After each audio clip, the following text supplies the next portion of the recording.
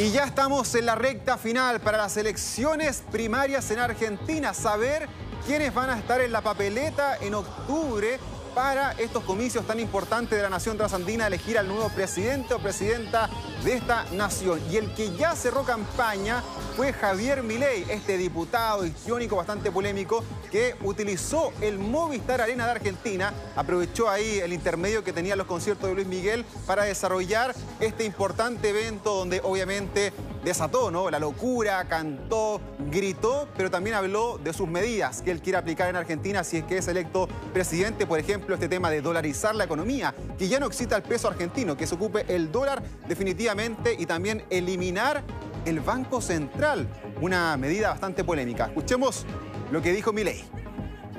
Sé que a muchos no les gustan mis formas, pero esta elección no se trata de mí, se trata de ustedes, se trata del país que quieren para sus hijos y sus nietos, y que los que están en el medio son los políticos chorros ha ido bajando la encuesta sí, Milei, ha tenido ahí un costo bastante grande político en las últimas semanas. Y que también tuvo un tropiezo, perdón, fue su publicista. Miren lo que ocurrió anoche cuando se estaba desarrollando este evento.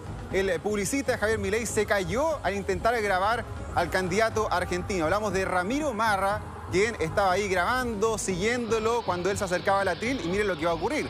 Se cae de espalda, ¿no? Choca con un parlante que estaba abajo, Sepu, y podría haber caído debajo del escenario. ¿ah? Fue bastante peligroso. Es que nadie lo venía cubriendo la espalda. ¿A qué a Claudio Caro le cubre nuestra espalda? Exactamente, hay que tener ahí un asistente. En este caso no había nadie y además ninguno lo ayudó tampoco, ni el candidato ni el resto de las personas que estaban ahí se acercó para ayudar a este publicista, parte de los chascarros que finalmente ocurrieron en, este, en Argentina. Bueno, sabemos que en este país ya son varios los candidatos que están apuntando finalmente a ser el próximo presidente de Argentina y aquí tenemos la última encuesta de parte de la agencia Management and que dice lo siguiente, como yo les decía, Milei ha bajado un poco la popularidad y es hoy el candidato oficialista del kirchnerismo, Sergio Massa, quien está liderando la intención de voto con un 25,7%.